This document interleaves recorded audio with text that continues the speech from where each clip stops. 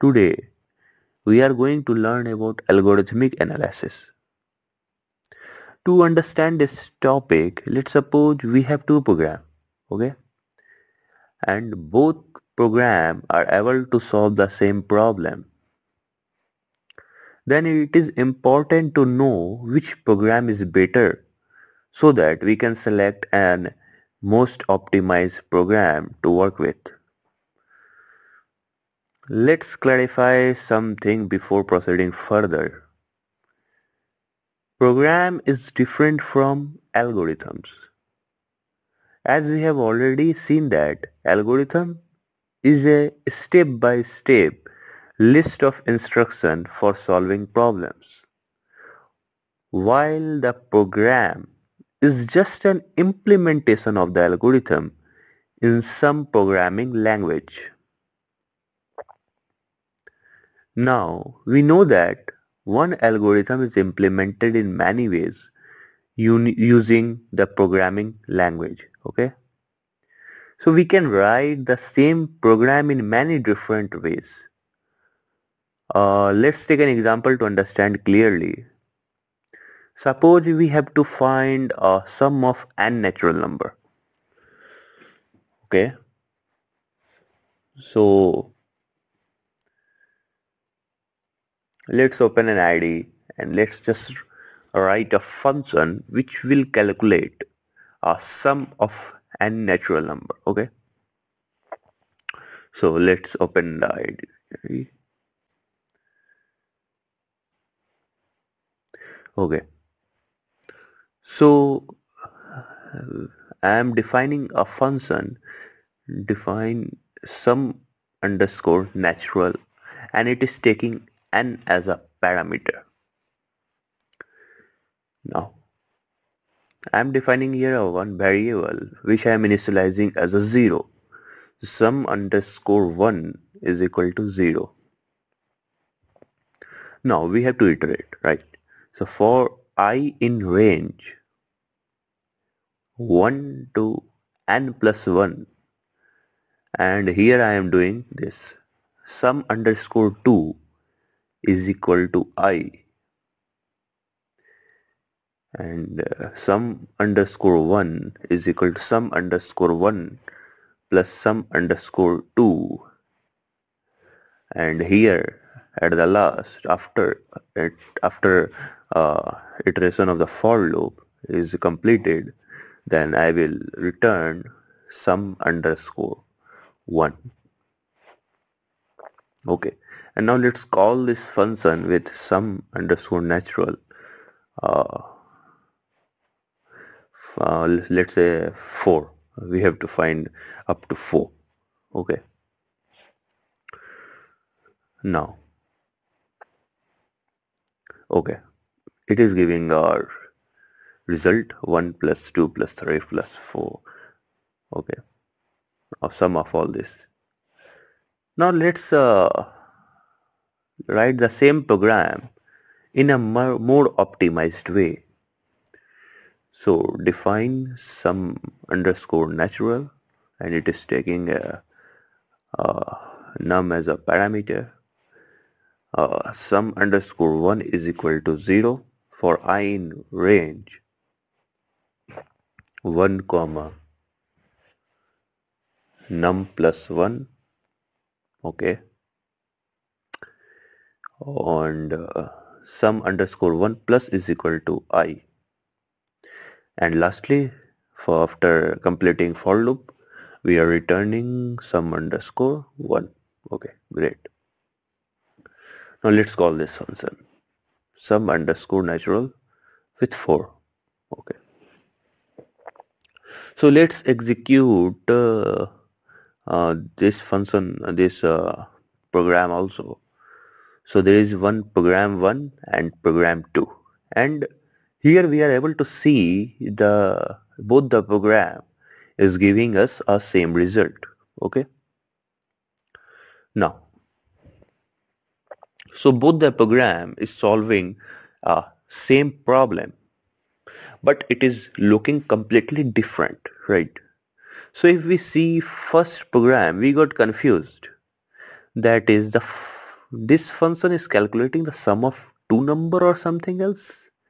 It is doing uh, because sum underscore 1 is equal to sum underscore 1 plus sum underscore 2 is something is there right? Because uh, we have not written the code in a good way. So readability is drastically reduced here. But the second program this one at a first glance we are able to understand that. Okay it is finding the sum of an natural number. Okay. The question we are discussing about which one of the two program is better? Basically it depends on the criteria.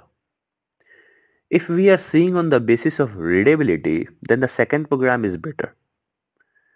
But on the basis of some measures like time and space both are the same because both will take a same time and both will take the same space. Okay. But in this course mostly we are concerned with the time and space not readability or a way to write a program. Okay basically algorithm analysis is concerned with comparing algorithms based upon the number of computing resources that each algorithm uses okay?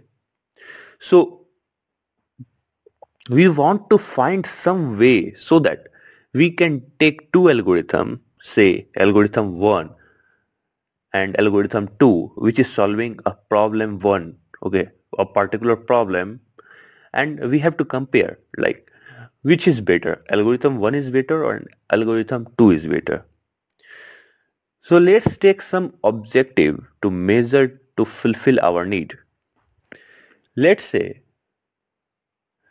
we already have seen that the let's say uh, we will compare algorithm on the basis of number of statement executed by the program.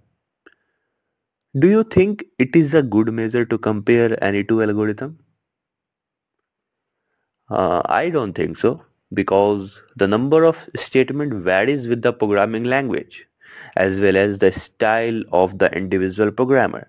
As you see also here that the program 1 and program 2 which is basically finding a sum of natural number but program 1 is taking uh, more lines than program 2 okay so it is not a good measure to like only count uh, number of instructions in a program to compare any two algorithm. So what we can do? So let's take a execution time as a second measure to compare two algorithms. Execution time is nothing but the time required to execute the program. This measure is also sometimes referred to as the running time of algorithm. Let's try to visualize this measure. In Python, there is a time module. Let's use this time module to find the actual time taken by the sum of n natural number programs.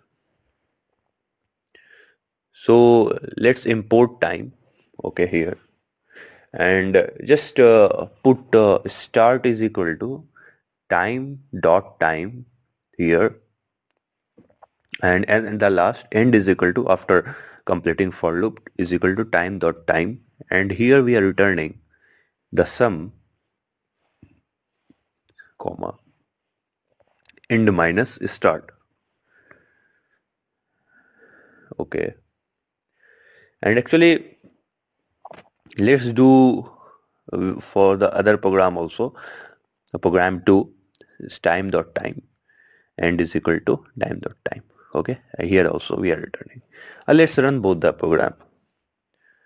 Okay as you see the number of statement actually you can here visualize the number of statement uh, basically uh, does not uh, compare any two program or ten, any two algorithm. Because here the number of statement is more but even the speed is comparable. Okay? It's almost same. Now so first uh, already we have discarded but here uh, we are uh, like trying to find out that ex execution time we can take or not as a measure for comparing any two algorithm. So here this function I have run on my computer okay? So time taken to execute this program on my computer is this much. Now let's run this same program in online some IDE okay? Online IDE let's see there how much time it is showing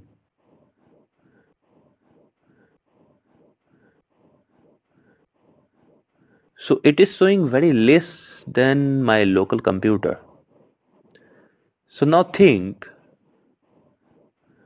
uh, so now I think you got a clear understanding why we are not able to take execution time as a good measure to compare two algorithms. Since times are specific to a particular computer. Okay, so before we will understand a better approach to compare two algorithms which are independent of computers as well as uh, programming language because execution time also depend on the programming language which we are using. So we have to find uh, some measure which uh, will independent of all these like a computer, or a programming language or a so we have to find a way. So before uh, we will understand a better approach a better measure uh, let's uh, do more experimentation with this execution speed. Okay so we are fixing a particular computer okay and we are fixing a particular uh, programming language. So then I think uh, we can uh, take a, right now an execution time as a measure okay for uh, this experimentation. So let's uh, try to do summation of first n natural number using this formula n into n plus 1 by 2. So let's write a function define sum of n start is equal to time dot time. And here we are finding sum using this formula only okay? And int is equal to time dot time. Here we are returning uh, time as well as sum okay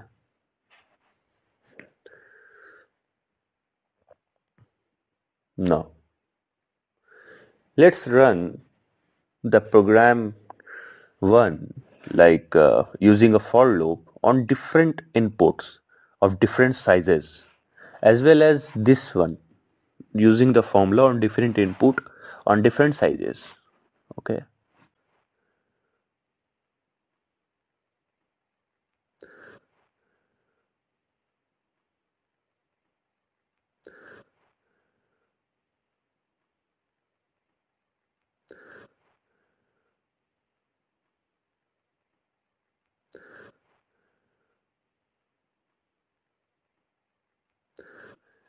As you can see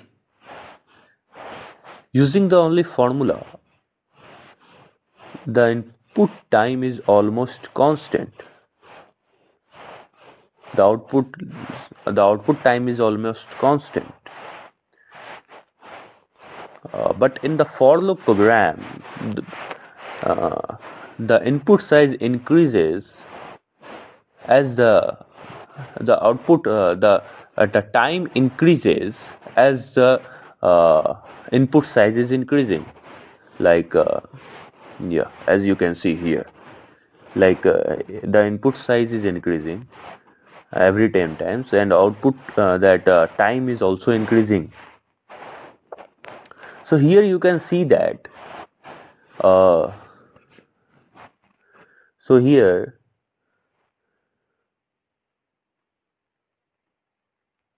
So if we fix the computer to analyze the algorithm, then we can choose a better algorithm for a particular problem on the basis of execution time. And here we can see that the second way of solving a problem of finding the sum of n natural number is faster than uh, this for loop approach. But as we have seen previously on different system, on different computer, we are not able to rely on execution time, right? As a measure. Since for the same algorithm there will be a different execution time in different machines and also execution time is also depending on the programming language. So we need a better way to compare the algorithm.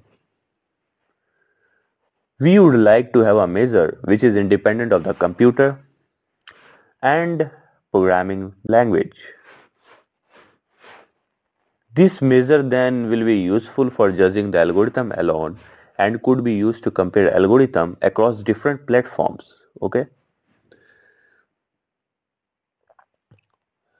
So I hope you got an understanding of why we have to compare two algorithms because we have to choose a better algorithm to solve a particular problem I hope you also are able to understand what is the difference between program and algorithm. And in algorithm analysis what we are trying to achieve what are our objective okay? So in the next lecture we are going to see a very good measure which is independent of uh, uh, that computer and programming language and all and it is able to uh, compare two algorithm in a much more better way. So from next lecture we will start learning that. Thank you. I hope you are all able to understand this lecture. Thank you. Thank you very much.